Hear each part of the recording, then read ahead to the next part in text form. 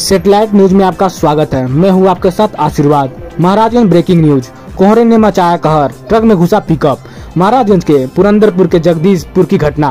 Pickup सवार की बाल बाल बची जान। मौके पर पहुँची पुलिस।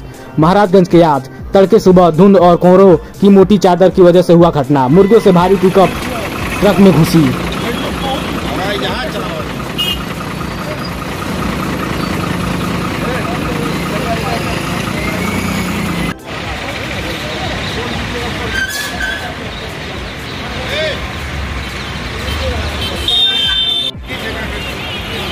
哎呀！加油！加油！